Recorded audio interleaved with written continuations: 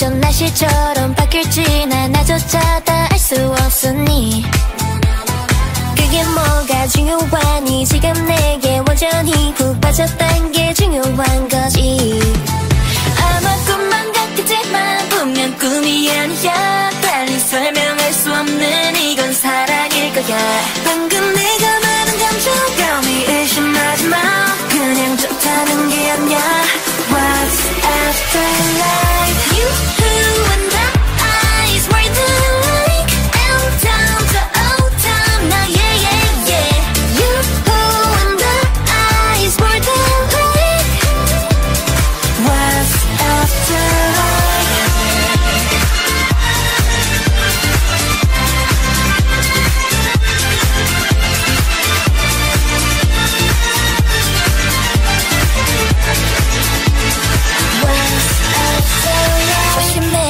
심장에 핀 새 파란이 불꽃이 저 태양보다 뜨거울 테니.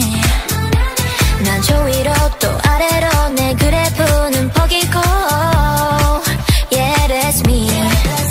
두번 세번 피곤하게 자꾸 질문하지 마내 장점이 뭔지 알아? 바로 솔직한 거야